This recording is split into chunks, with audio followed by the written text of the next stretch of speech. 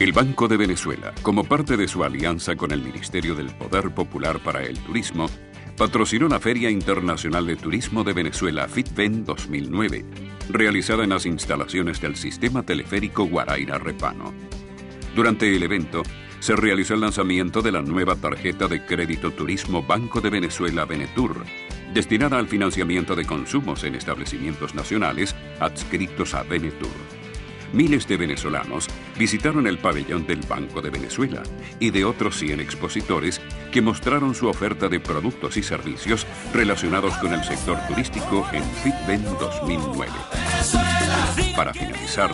los asistentes disfrutaron de un concierto que reunió a varios artistas nacionales, entre ellos Juan Carlos Luces, quien interpretó su tema A mi tierra.